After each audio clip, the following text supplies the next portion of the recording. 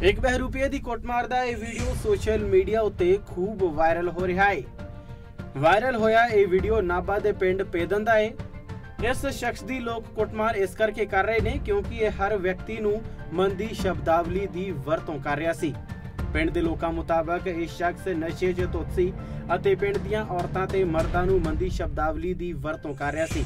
ਜਿਸ ਕਾਰਨ ਉਹਨਾਂ ਨੇ ਇਸ ਨੂੰ ਫੜ ਕੇ ਖੂਬ ਛਿੱਤਰ ਪਰੇਡ ਕੀਤੀ। ਉਹ ਵਰਡ ਰੂਪੀਆ ਬਣਿਆ ਹੋਇਆ ਸੀ ਜੀ, ਭੇਸ ਉਹਦਾ ਰੂਪੀਆ ਸੀ ਤੇ ਹਰੇਕ ਦੇ ਘਰ ਦੇ ਵਿੱਚ ਉਹ ਗਲਤ ਬੋਲਦਾ ਸੀ। ਹਰੇਕ ਨੂੰ ਮਤਲਬ ਛੇੜਦਾ ਸੀ ਉਹ ਤੇ ਸਾਰੇ ਪਿੰਡ ਚ ਗੇੜਾ ਦੇ ਚੁੱਕਿਆ ਸੀ ਉਹ।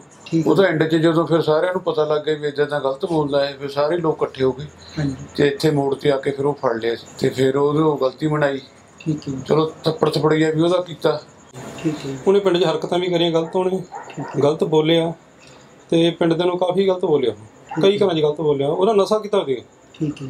ਨਸ਼ੇ ਨਾਲ ਪੂਰਾ ਉਹ ਟੁੰਨ ਤੀਗਾ ਉਹਨੂੰ ਆਪਣੇ ਆਪ ਦਾ ਕੋਈ ਪਤਾ ਨਹੀਂ। ਉਹ ਲੇਡੀਜ਼ ਵਗੈਰਾ ਗਲਤ ਬੋਲਿਆ ਬੰਦਿਆਂ ਨੇ ਵੀ ਗਲਤ ਬੋਲਿਆ। ਬਹਿਰੂਪੀਏ ਨੇ ਪਿੰਡ ਦੀ ਭੀੜ 'ਚ ਗਲਤੀ ਮੰਨ ਕੇ ਆਪਣਾ ਖਹਿੜਾ ਛੁਡਵਾਇਆ ਤੇ ਉੱਥੋਂ ਚਲਾ ਗਿਆ। ਪਿੰਡ ਵਾਲਿਆਂ ਮੁਤਾਬਕ ਇਸ ਦੀ ਸ਼ਿਕਾਇਤ ਇਸ ਕਰਕੇ ਨਹੀਂ ਕੀਤੀ ਗਈ ਕਿ ਉਸਨੇ ਆਪਣੀ ਗਲਤੀ ਮੰਨ ਕੇ ਮਾਫੀ ਮੰਗ ਲਈ ਸੀ। ਨਾਬਾ ਤੋਂ ਰਾਹੁਲ ਖੁਰਾਣਾ ਜਗਬਾਣੀ ਟੀਵੀ।